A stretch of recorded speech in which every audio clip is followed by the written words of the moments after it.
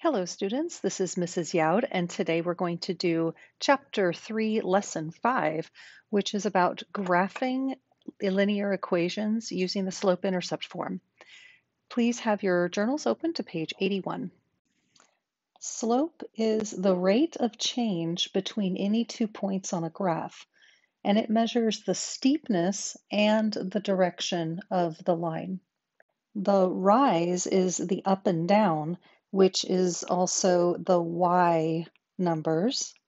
And the run is the left and right, which is also the x numbers. So for example, um, slope is going to be rise over run, which equals the change in the y values over the change in the x values. So the formula is either y2 minus y1 over x2 minus x1. Or if you wanted to flip it around, it doesn't really matter, but you have to be consistent. So you could say y1 minus y2 over x1 minus x2. You just have to make sure that whatever point you start with is the same point that you start with on the denominator uh, for either one. And I'll show you an example down below. The slope-intercept form of a line is y equals mx plus b. And the reason why it's called slope-intercept is because it tells you the slope and the intercept just by looking at the equation. So in this case, the m is your slope, and the b is your y-intercept. A constant function is a horizontal line with zero slope.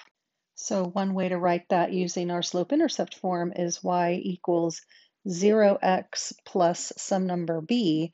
And since 0 times anything is 0, we can just take that part out and write it as y equals b, where b is where the line crosses the y-axis. So I would like to practice with you finding slope given two points. So I'm going to do, we're going to do negative 5 comma 10 and 12 comma negative 7. And so these are the two points that we need to find the slope. So your x numbers are the negative 5 and the 12, and your y numbers are the 10 and the negative 7. We're going to solve this in two different ways. So uh, I'm going to set up my slope formula. I always like to put what I call the skeleton of the formula down. It's a fraction with subtraction signs on the top and the bottom. On the top, we're going to put our y numbers. So I can put 10 and negative 7 here, and then on the other side, I'm going to flip it around and put negative 7 and 10. And then on the bottom, we need to put our x's. So since I started with the 10 over here, I have to start with the 5 on the denominator.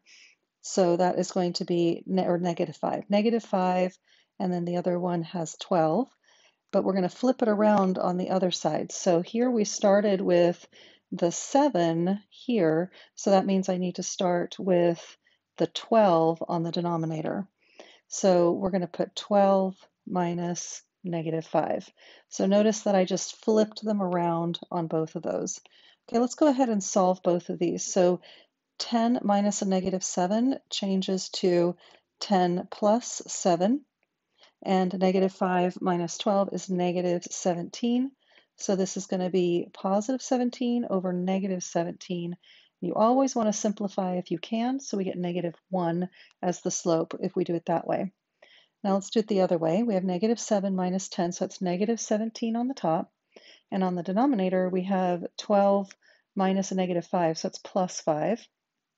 So that's going to be negative 17 over positive 17 and that also reduces to negative 1. So you'll mm-hmm. notice that in both cases we got the same answer. And so that's what I wanted to show you is that it doesn't really matter which points you start with as long as you are consistent. So here I started with the negative 5 comma 10 and here I started with the 12 comma negative 7. As long as you're consistent in the numerator and denominator, it doesn't really matter which point you start with. On page 82, it talks about what a positive slope looks like. And a positive slope rises up from left to right. Think about if you had a um, money in a bank. this is what you would want to see happen to your money. You would want to see your money grow. A negative slope is when the line falls from left to right.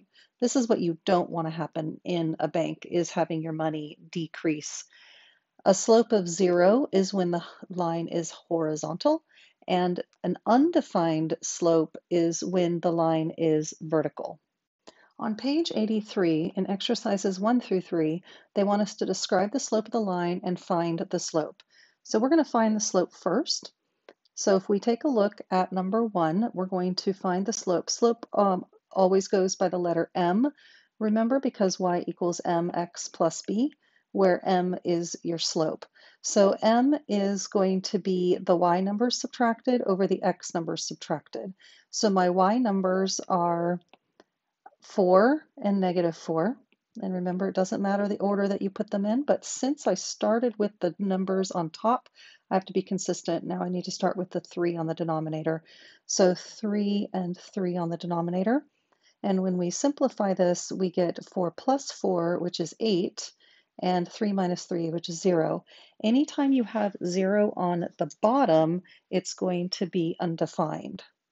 And this definitely looks like an undefined line because it is a vertical line. If you had zero on the top, then the answer would be zero. So if this ended up being a horizontal line somewhere, you would have zero on the numerator, and so then that answer would be a zero slope. For number two, my y numbers are 4 and negative 4. And my x numbers are 3 and negative 1. So when we simplify that, 4, that turns into 4 plus 4, so it's 8 on the top, and 3 plus 1, so it's 4 on the denominator, and we're going to simplify that to 2. So then that means that my slope is 2, and it's a positive slope. Please pause the video and try number 3 on your own and turn it back on when you're done. For number 3, I got the slope is negative 1, and it is negative. In exercise 4 and 5, the points represented by the table lie on a line. We, we, we need to find the slope of the line. So we're given way more information here than we need. So basically how you do this is you just choose any two points you want. So for example, I'll go ahead and try this one and maybe this one. So that means that I'm going to use 2 comma negative 2 and 4 comma negative 2. So we need to find the slope. So I'm going to write my skeleton of the slope formula and I'm going to plug in my y numbers on top. So that's negative 2 and another negative 2 and my x numbers on the bottom. So I'm going to do 2 and 4. So this is negative 2 plus 2, which is 0, and 2 minus 4, which is negative 2. Anytime you have 0 on the top, the answer is 0. So this answer is the slope is equal to 0. Okay, on number five, we're just going to choose any two points. I'm going to choose this time, I'm going to go ahead and do this one and this one this time. So that means that we have negative 3 comma 11 and negative 1 comma 3. So I'm going to write my formula first. So m is equal to, there's my skeleton, and I'm going to plug in my numbers. So 11 and 3 are my y numbers, and negative 3 and negative 1 are my x numbers. And so 11 minus 3 is 8. Negative 3, this is turns into plus 1, so negative 3 plus 1 is negative 2, and that simplifies to negative 4. So my slope is negative 4. In exercises 6 through 8, we need to find the slope and the y-intercept of the graph of the linear equation. So number six is not written in the right form. This is written in standard form. So if we want to easily find the slope and the y-intercept, the best way we can do that is to solve for y. So I'm going to circle my y here. Uh, that means I need to move over my 6x first. And when I do that, I have 4y. And remember, these two are not like terms, so they need to stay separate.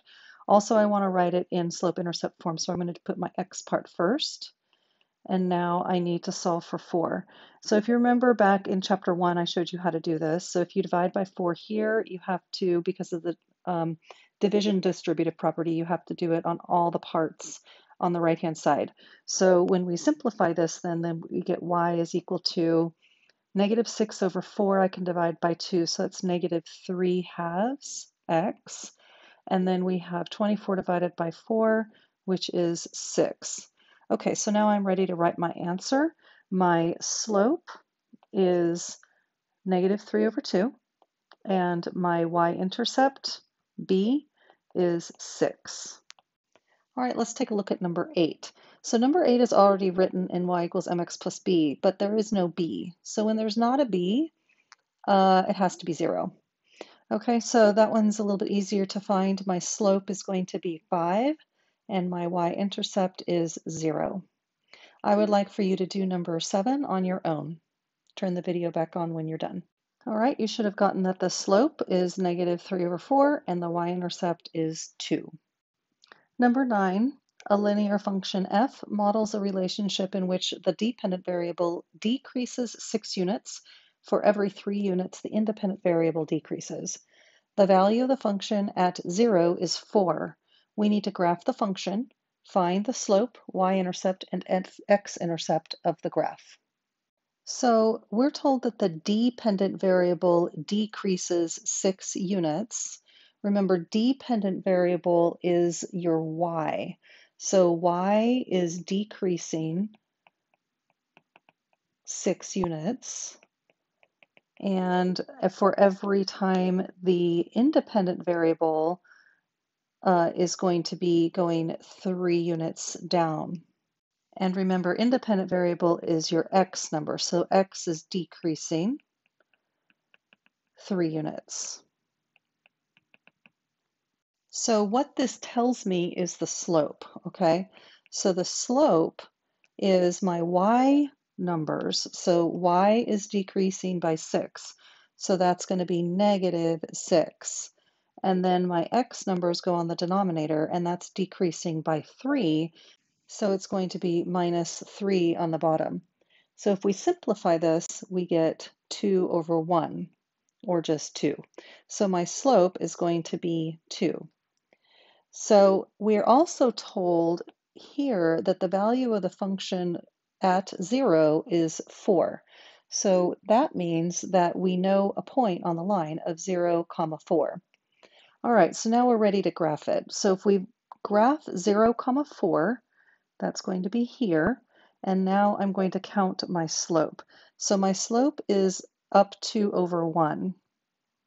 And so that's going to be up 2 over 1. And I, I'm kind of out of room there, so I'm going to go the other direction. And so we're going to go over 1 down 2. And we're going to keep going with this uh, slope here. So my slope is going to stay the same all the way down. And now we just need to connect those points. All right, so now we have to find everything that they asked us to find. They asked us to find the slope and the y-intercept and the x-intercept of the graph. So my slope we found earlier, that's 2. My y-intercept is here, and that's at 0, comma 4.